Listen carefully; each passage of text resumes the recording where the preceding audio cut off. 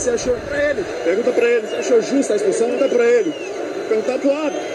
Você só, jogador expulso, jogador é, é, tem gol mal anulado. Vocês não, não perguntam pro rádio.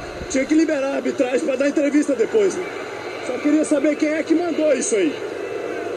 Quem é que. Gente, o Campeonato Carioca tem que acabar. Acaba, Carioca. Acaba o Campeonato Carioca. Vamos jogar Rio-São Paulo. Vamos jogar Sul e, e, Rio de Janeiro. Tem que acabar o Campeonato Carioca. Quando tiver assim, acaba o futebol no Rio de Janeiro. Tem que acabar o Campeonato Carioca. Acaba. É o desabafo do Fred, isso.